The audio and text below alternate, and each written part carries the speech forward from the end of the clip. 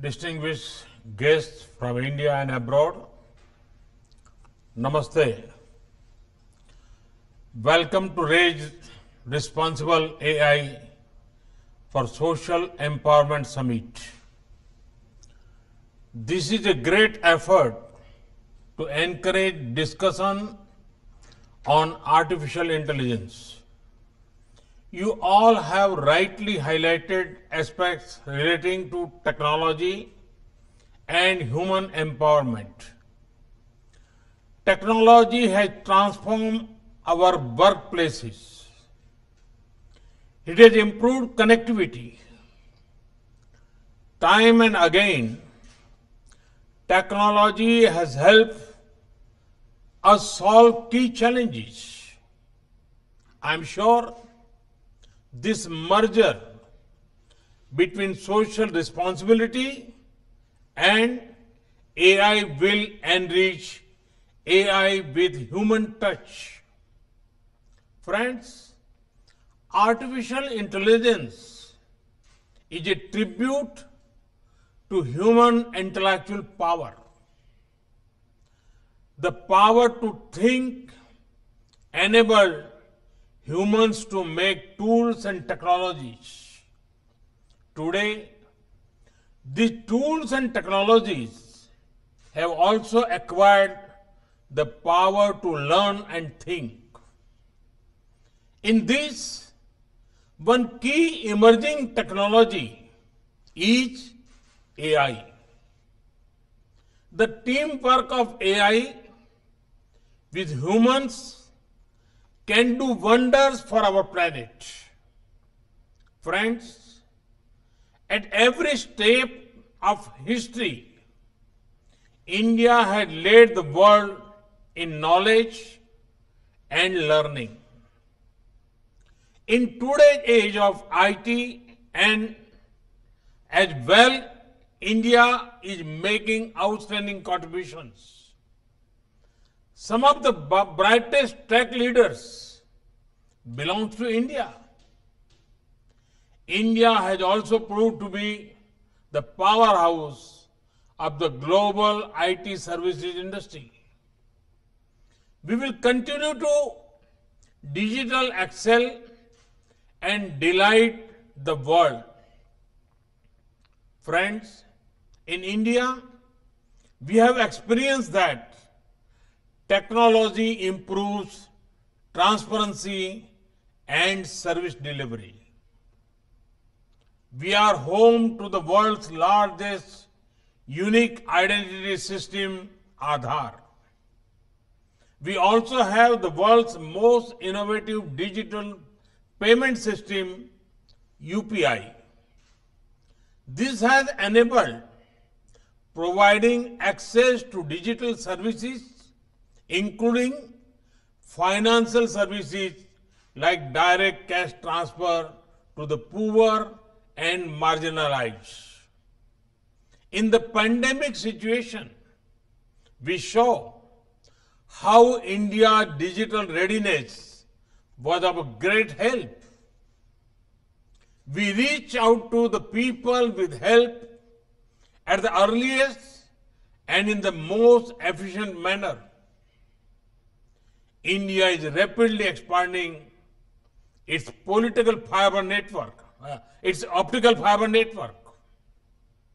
The aim is to provide every village with high speed internet connectivity. Friends, now we want India to become a global hub for AI. Many Indians are already working on this area. I hope many more do so in the times to come. Our approach to this is powered by core principle of teamwork, trust, collaboration, responsibility, and inclusivity. Friends, India has recently adopted the National Education Policy 2020. It focuses on technology based learning and skilling as a major part of education. E courses will also be developed in various regional languages and dialects. This whole effort will benefit from natural language processing capabilities AI platforms. We launch Responsible AI for Youth program this year in April. Under this program, more than 11,000 students from schools completed the basic course. They are now building their AI projects. Friends, the National Educational Technology Forum is being formed. This will create an e-education unit to boost the digital infrastructure, digital content and capacity. Virtual labs are being established to provide hands-on experience to learners. We have also launched the Atal Innovation Mission to promote a culture of innovation and entrepreneurship. Through these steps, we aim to keep pace with emerging technology for people's benefit. Friends, I would also like to mention about the National Program on Artificial Intelligence. This will be dedicated towards rightful use of AI for solving problems of society. It will be implemented with the support of all stakeholders. RAISE can be a platform to brainstorm in this regard. I invite all of you to actively participate in these efforts. Friends, there are a few challenges that I would like to pose to this august audience. Can we use artificial intelligence for the optimal management of our assets and resources? At some places, resources are idle, while in other places, there is a shortage of resources. Can we dynamically reallocate them to find optimal use? Can we delight our citizens with proactive and prompt delivery of services at their doorsteps? Friends, the future belongs to the youth and every youngster matters. Each child has unique talents, capabilities, and aptitudes. At times, the right person ends up at the wrong place. There is a way we can change that. How about every child observing him or her herself while growing up? Can parents, teachers, and friends carefully observe children? Observe them from their childhood, the start of adulthood, and keep a record of them. This will go a long way in helping a child discover his or, or her natural calling. Those observations can be effective guiding force for youngsters. Can we have a system which gives an analytic report on the aptitude of the, each child? This would open doors of opportunity for many youngsters. Such human resource mapping will have long lasting benefits in governments and businesses. Friends, I see a big role for AI in empowering agriculture, healthcare, education, creating next generation urban infrastructure, and addressing urban issues like reducing traffic jams, improving sewage systems, and laying our energy grids. It can be used for making our disaster management system stronger. It can even be used to solve the problem of climate change. Friends, our planet is blessed with several languages.